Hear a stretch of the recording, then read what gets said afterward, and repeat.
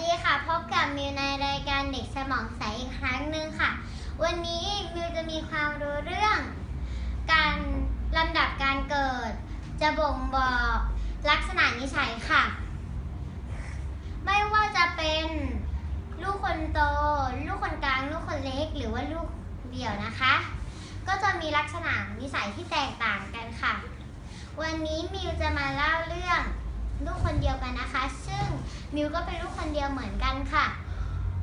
อย่างแรกคือรักอิสระค่ะ มิวว่าอันนี้จริงมากๆเลยนะคะ เพราะว่าเด็กส่วนใหญ่ก็จะรักอิสระกันทั้งนั้นค่ะ อย่างที่สองคือเข้ากับผู้ใหญ่ได้ง่ายค่ะ อันนี้ก็ว่าจริงเหมือนกันนะคะ เพราะว่าเวลามิวอยู่กับผู้ใหญ่มิวรู้สึกอุ่นใจ และมีสบายใจและมีความสุขมากๆค่ะ อย่างที่สามคือมีความเป็นส่วนตัวสูง อันนี้มิวก็ไม่ค่อยมีค่ะ แต่ว่ามิวชอบเล่นกับหมาแค่สองตัว แค่สองคน แล้ว มิวก็ไม่ค่อยชอบให้ใครมาบังคับ แล้วอย่างที่สี่คือไม่ชอบวิพากษ์วิไม่ชอบให้ใครมาวิพากษ์วิจารณ์ค่ะ ทุกคนควรจะเป็นอย่างนี้ เพราะว่าการวิพากษ์วิจารณ์ก็เหมือนใส่ร้ายกัน แต่มีจะมีการวิพากษ์วิจารณ์ที่มิวชอบก็คือ การวิพากษ์วิจารณ์ที่ทำให้เราไปพัฒนาตัวเองได้มิวก็จะรับฟังตลอดเวลาค่ะ อย่างที่ 5 อันนี้สำคัญมากเลยนะคะมิวอันนี้จะ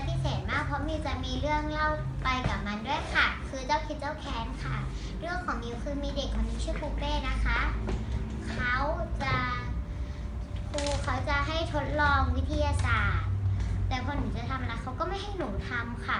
หนูก็เลยร้องไห้ และตอนจบวิชานะคะ เพื่อนสนิทหนูเขาก็มาปลอบใจหนูแล้วก็ว่าปูเป้ค่ะ แล้วทั้งพ่อทั้งแม่และเพื่อนหนูบอกว่า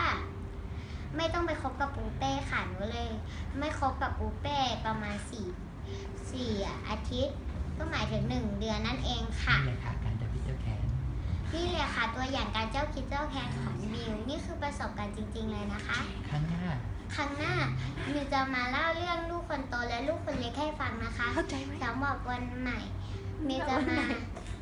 สวัสดีค่ะ วันใหม่มิวจะมาเล่าเรื่องให้ฟังนะคะ สวัสดีค่ะ